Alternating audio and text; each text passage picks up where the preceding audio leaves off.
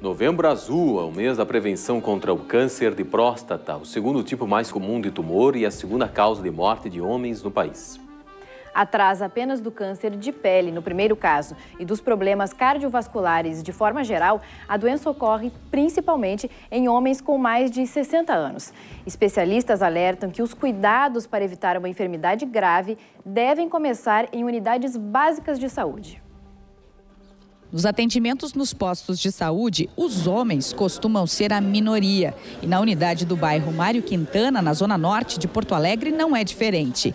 É que o público masculino quase não busca a prevenção e geralmente já chega no serviço de saúde com a doença mais avançada.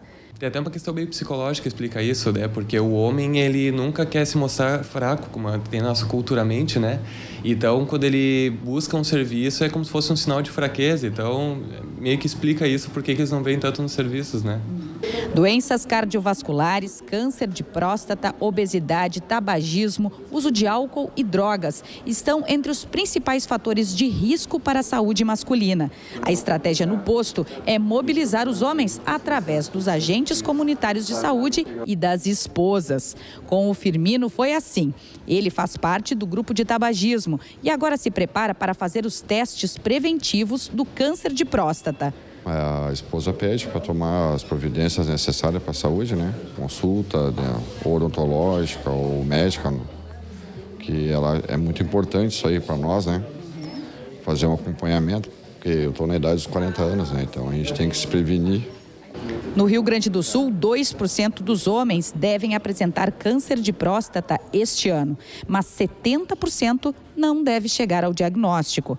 A presidente do Instituto Nacional da Próstata alerta para o preconceito com os exames, principalmente o de toque.